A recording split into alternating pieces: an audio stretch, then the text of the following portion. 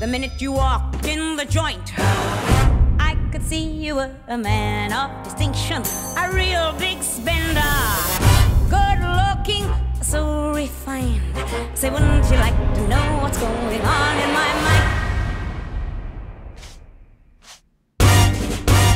Mortdecai. Mortdecai. Charlie Mortdecai? Bit of a moron, actually. Oh, oh. I believe I've just shot John. Excellent shot, sir. Man down. Hey, big spender.